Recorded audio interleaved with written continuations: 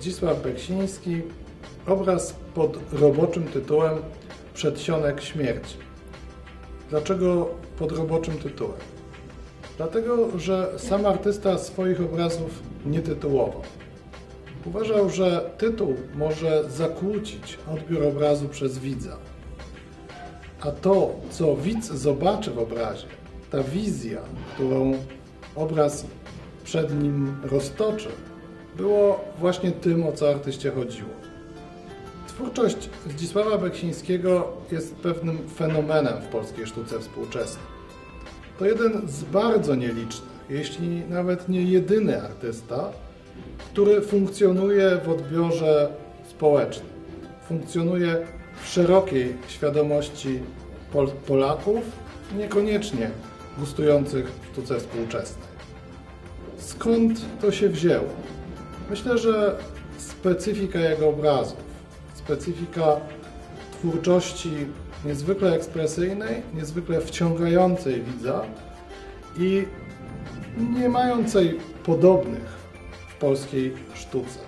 To właśnie ta niezwykłość wizji Beksińskiego, myślę, spowodowała możliwość przebicia się i możliwość zaistnienia w społecznej świadomości. Zwróćmy uwagę na technikę, którą posługuje się Beksiński. To niezwykle ciekawe. On właściwie od początku marzył o twórczości filmowej, o kręceniu filmów, o realizacji obrazów. Nie udało mu się. Po części rekompensował to sobie fotografią artystyczną, ale i fotografia nie dawała mu tej swobody, którą, której potrzebował.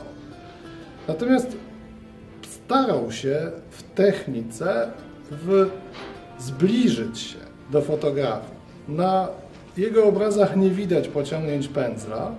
Malował właściwie od początku lat 70. na gładkich powierzchniach płyt pilśniowych i był tej technice wierny do końca. Ta krystaliczność pociągnięć, czy właściwie braku pociągnięć pędzla, była mu niezbędna do zobrazowania wizji.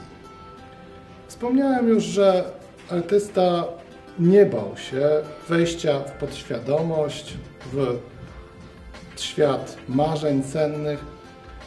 Myślę, że to niezwykły świat. Niezwykły świat, który nie każdemu się podoba, ale który każdego może zaciekawić.